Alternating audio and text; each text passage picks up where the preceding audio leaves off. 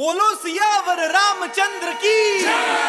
प्रणाम सिया राम, किया विश्व कल्याण। बोलो राम सिया राम सिया राम।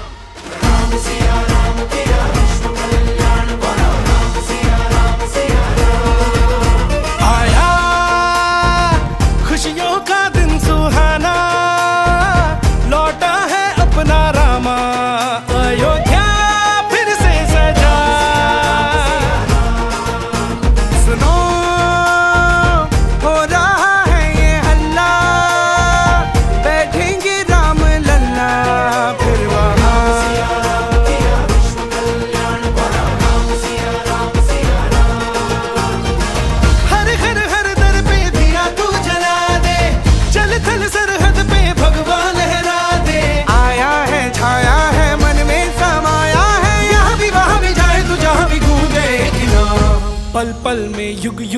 हर क्षण में राम हर तन में हर मन में कण कण में राम।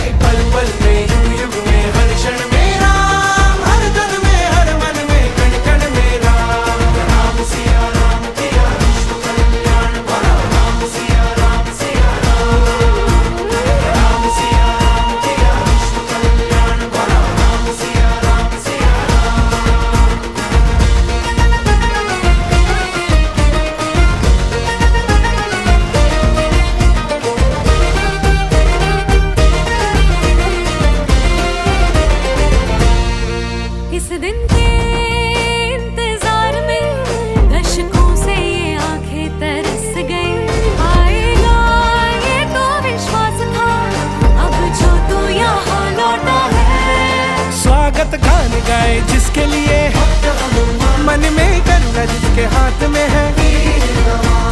जीते भी, मरते भी, काम काज करते भी, सुख में, दुख में, हर एक मुख में घर जाएगी नाम। पल पल में, युग युग में, हर क्षण में राम। हर तन में, हर मन में, कण कण में राम। पल पल में, युग युग में, हर क्षण में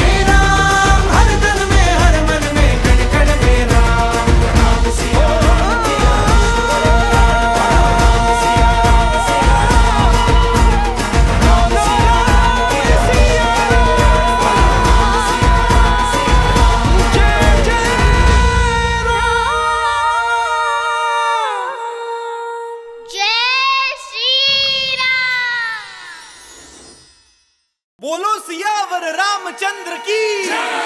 प्रणाम सिया राम, किया विश्व कल्याण। बोलो राम सिया राम सिया राम।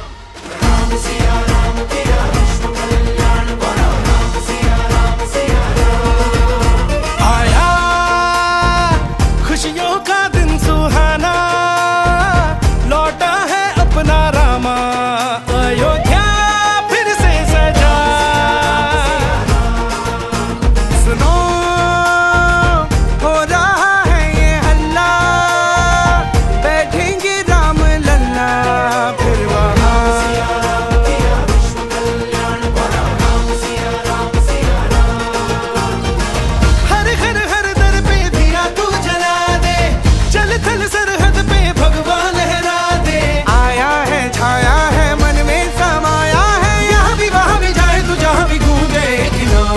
पल पल में, युग युग में, हर क्षण में राम, हर तन में, हर मन में, कण कण में राम। पल पल में, युग युग में, हर क्षण में। कर्तव्य परायण स्वरूप में, धर्म परायण स्वरूप में 140 करोड़ देशवासियों के प्रतिनिधि के रूप में, तेज तप और तपश्चर्या के पर्याय के रूप में, भारत भारतीयता के अग्रदूप के रूप में, और साथ ही साथ सनातन संस्कृति के ध्वजवाहक के रूप में प्रस्तुत हैं गर्भगृह में। निश्चित तौर से जिस तरीके से प्रधानमंत्री जी पहुँचे हैं, कहा जा सकता है कि वह शंकर का तेज लिए आता है, सत्य सनातन शाश्वत का वह वेग लिए आता है, माथे पर अपने त्रिपुंड सजाकर जगत गुरु भारत का संदेश लिए आता है। और वह संदेश है, वसुधैव कुटुंबकम का, वह संदेश है, सर्वे भवंतु सुखिनः का, वह संदेश है कृणवंतो विश्वमार्यम का, वह संदेश है वयम राष्ट्रीय जागरयाम पुरोहिता का। यानी कि हम राष्ट्र में जागते रहें और राष्ट्र निर्माण में हम संलग्न रहें। आज इतिहास लिखा जा रहा है, सप्तपुरियों में सर्वश्रेष्ठ भगवान श्री राम की जन्मभूमि, अयोध्या में दिव्य, भव्य, नव्य मंदिर में प्राण प्रतिष्ठा के लिए प्रधानमंत्री संकल्प ले रहे हैं।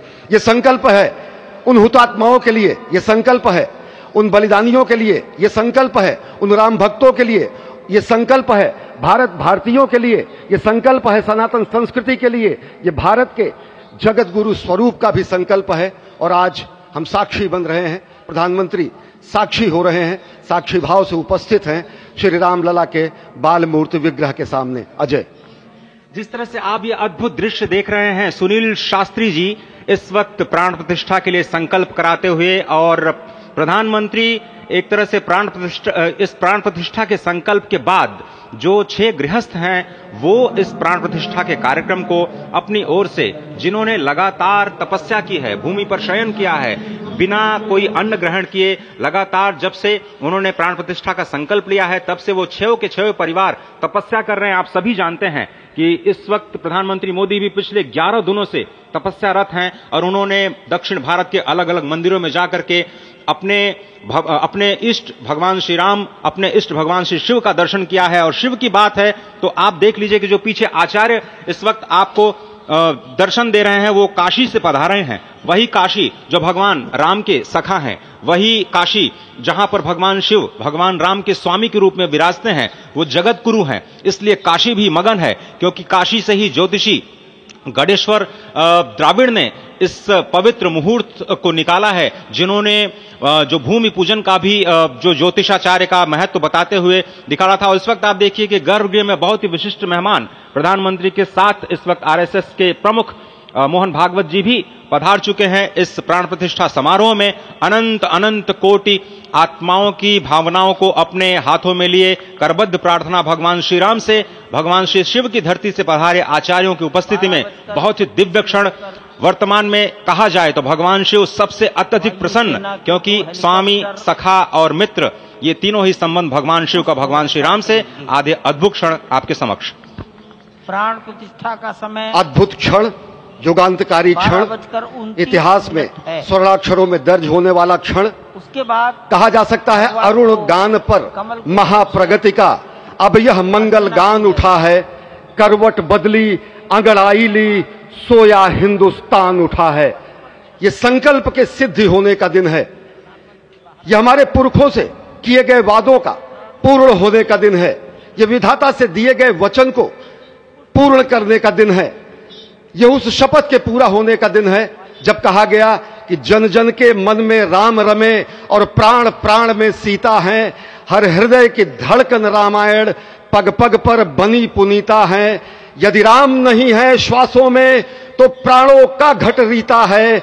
नरनाहर श्री पुरुषोत्तम का हम मंदिर भव्य बनाएँगे, सौगंध राम की खाते हैं हम, मंदिर भव्य बनाएँगे। और आज सौगंध के पूरा होने का दिन है। आज विधाता से दी गई शपथ का पूरा होने का दिन है आज सदियों की आकांक्षा का पूरा होने का दिन है आज हर्ष का दिन है आज उत्कर्ष का दिन है आज अर्चन का दिन है वंदन का दिन है अभिनंदन का दिन है अर्पण का दिन है तर्पण का दिन है पुरखों की अभिलाषा के साक्षात होने का दिन है आज सकल मनोरथ पूरा होने का दिन है अजय जिस तरह से आपने पुरखों की याद दिलाई तो ये जो पौष मास है अश्विनी, वो बहुत ही पवित्र माना जाता है।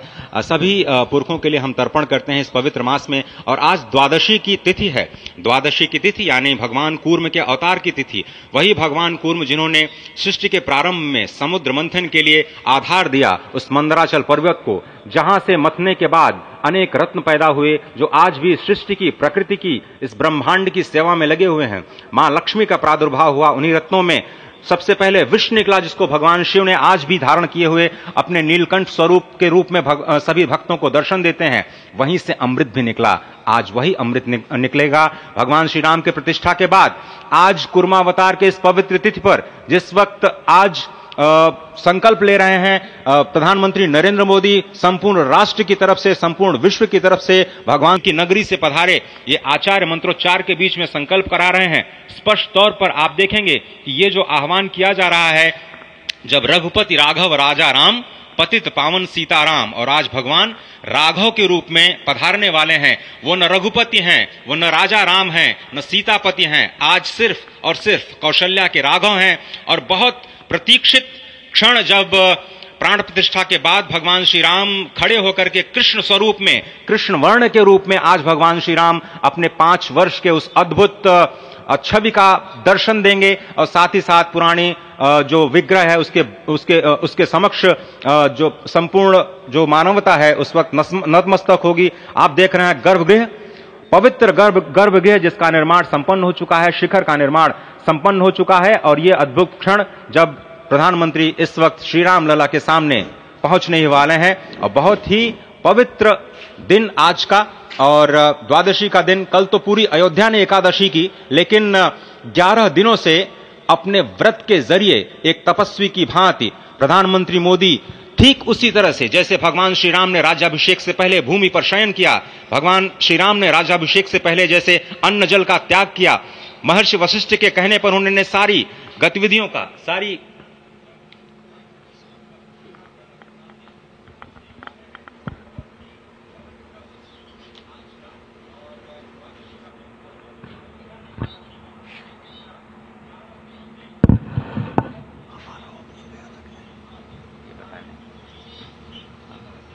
जब सुनना तो ले जब हमें आया वो ले